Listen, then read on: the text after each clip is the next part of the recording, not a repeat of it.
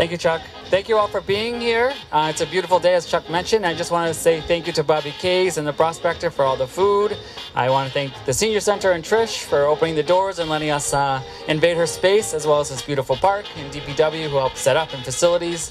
And most importantly, I want to thank all of you for coming. It's a beautiful day. I know we kind of shift some gears and we're not on the beach today, but it was really important for me to bring things back to Ward Park. It's kind of where I my stomping ground, so to speak, and good childhood memories. So now it's great to create new memories as mayor at this beautiful park. So thank you all for being a part of that. Thank you all for being here. And again, um, can't wait to challenge some people with cornhole and some Connect Four. So whoever's ready, game on.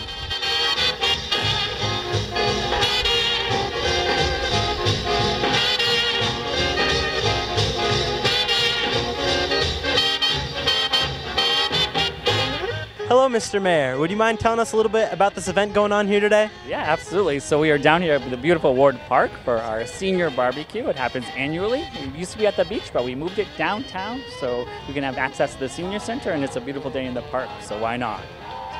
Very nice, very nice. So, what are your favorite summer activities to do?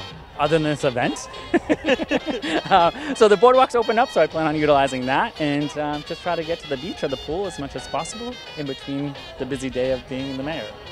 That's very nice. Well, while we're at this barbecue, let me ask you, what is your favorite like barbecue food or something to eat out at a kick, uh, like a cookout? Oh, hot dogs and hamburgers all the way. Yeah, I always have to have mustard though. Yeah, it's the rule on my hot dogs. So yeah, obviously pasta salad. My mom gets great macaroni salad, so I always dive in for that when she makes it. But you know, it's traditional American barbecue.